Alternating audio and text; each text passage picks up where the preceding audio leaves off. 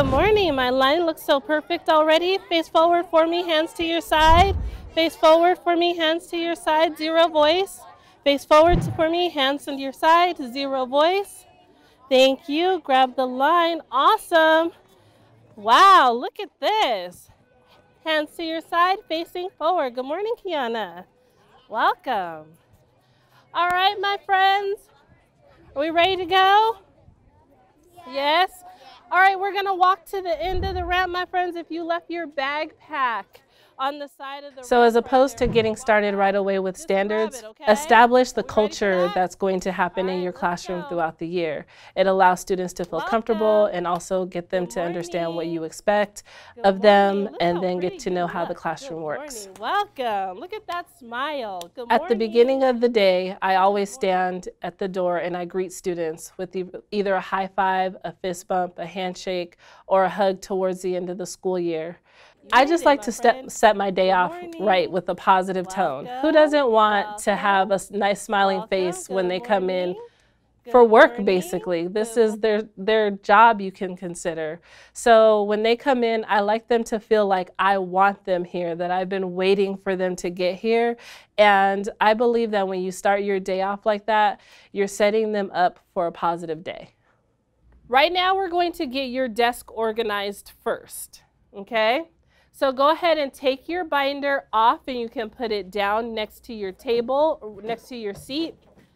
Just quickly on the floor is fine. You can check it out while you do so.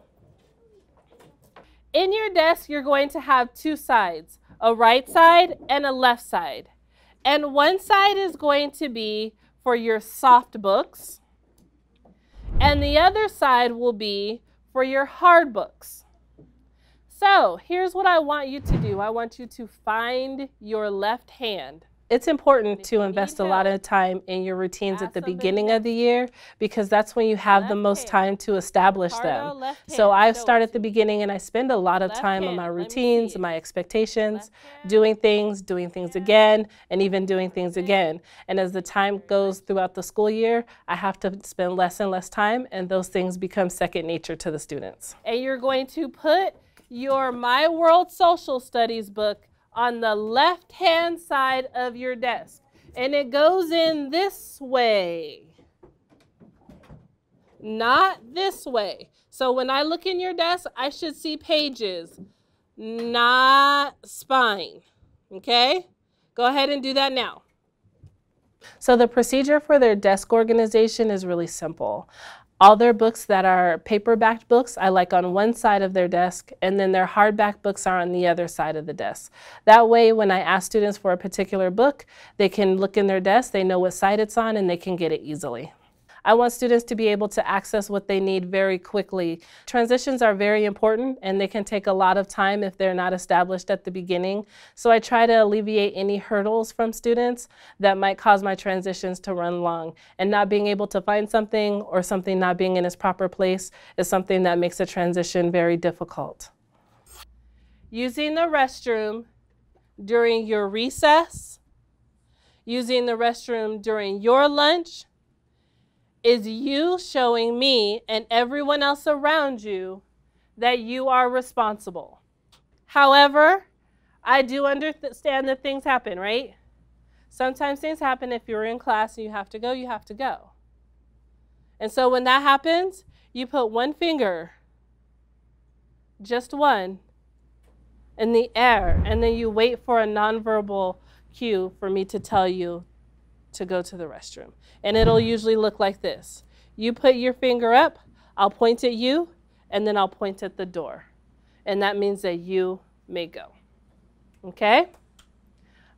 Now, show me the restroom sign. Thank you. Notice that there is no Miss Martin with it. It's not Mrs. Martin. That nonverbal signal is something that I can do while I continue to teach.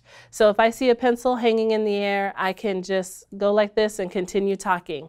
The same with going to the restroom or going to water, so it doesn't interrupt the flow of the lessons. I am going to teach you how to come from your seat to the carpet to meet with me, okay? So, in order to do that, we need to be able to know exactly where we're going and exactly how we're supposed to get there. Okay? So we're going to take some time and I'm going to show you exactly where I want you to sit and how I want you to get there quickly. Okay? So for my ELA transition, I start with students' numbers, usually alphabetical at first, and then I give them an exact spot to sit on at the carpet.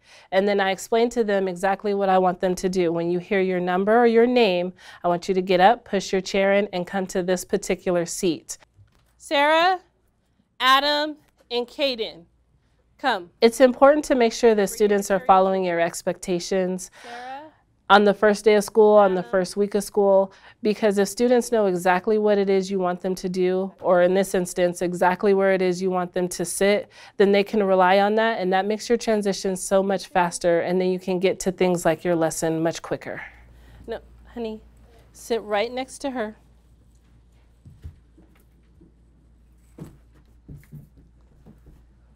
Scoot up right next to her.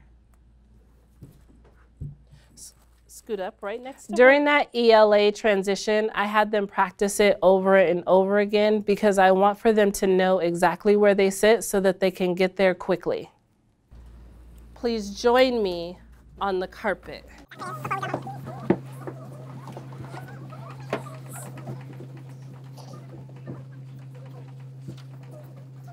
It took us one minute and eight seconds, which is not too bad okay? As we continue to go throughout the school year, we are going to be looking to chop down just a little bit second by second at that time, okay?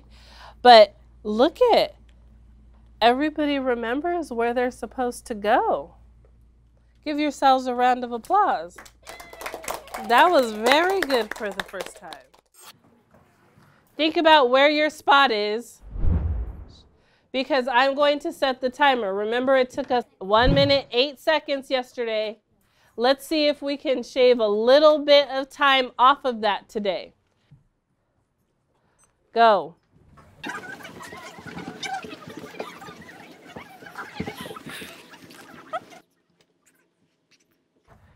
Fifty-six seconds. Good job, my friends. Excellent work. All right, my friends. So, Brennan, there is kids pick up on things, your attitude, your behavior. So, you want to be very cautious of those things at the beginning of the school year because students are looking at every piece of you as a teacher and they're also looking at every piece of piece of your classroom. So you want to make sure that you're warm, you want to make sure that your classroom is inviting, that they can see themselves as part of this classroom, and that they know that you want them to be there and that this, this is a safe place for them to be throughout the school day. All right, ladies and gentlemen, welcome to day two of fourth grade. How are you feeling? Good. Did you go home yesterday completely exhausted?